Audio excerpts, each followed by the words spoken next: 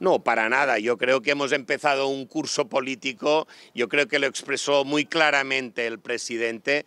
Venimos con mucho ánimo, venimos con seis grandes prioridades. La primera que enunció tenía que ver con el impulso industrial, con la competitividad, que es la manera de generar más y mejor empleo.